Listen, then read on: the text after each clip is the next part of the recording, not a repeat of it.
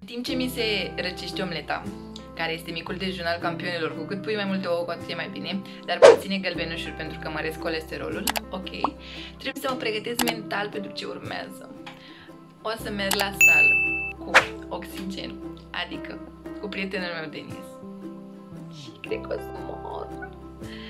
Da, sunt foarte, foarte, foarte mândră de el pentru că a reușit să își mențină motivația și este foarte, foarte strict și la felul cum mănâncă și la antrenamente. N-am văzut, adică am mai întâlnit oameni atât de stricți și motivați ca el, doar că el a avut niște rezultate foarte, foarte vizibile, foarte mari, într-un timp scurt și fără să bage prostie, adică totul este natural și ceea ce este super ei.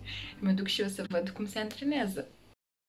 M-am urcat în micul meu tir și o să merg spre sală unde o să mă întâlnesc cu Denis să băgăm pam, nici nu știu ce lucrăm, nu știu nimic ce se va întâmpla. Ei! Făcut și frig afară. E mai greu la mine cu sala și cu plecatul pe frig. Mie nu-mi place frigul deloc, nu prea mă îmbrac eu bine. Am uh, căinuțe scurte, așa cum mă știți că mă îmbrac și e groaznic, chiar groaznic. Uh, nu suport frigul, o să-mi fie foarte, foarte greu să ajung la sală, așa cred că o să încep din nou exercițiile de acasă. Să mergem să ne întâlnim cu Denis. 20 minutes later.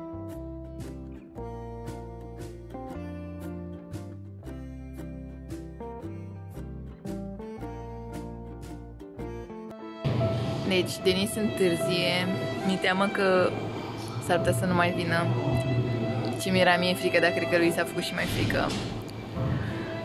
Așa că o să încep să fac niște abdomen în speranța că o să mai vină. One eternity later. Uite mă că a venit, mă.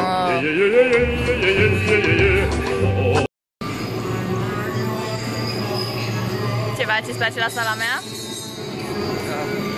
Am o întrebare. Sper că nu te superi, că vreau să spun această întrebare. Spune. Te lași de gaming pentru fitness? Pare, m-am lăsat de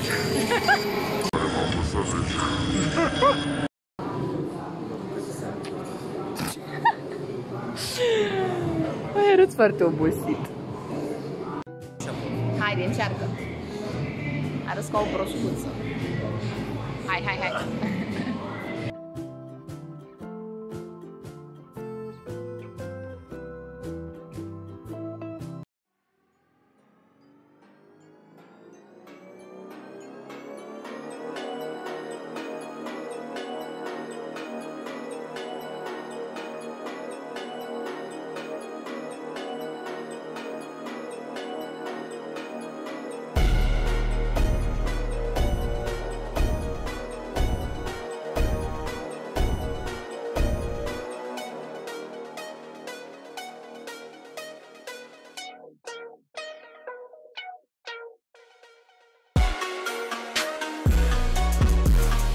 Eu am vrut, dar el a vrut. Haide.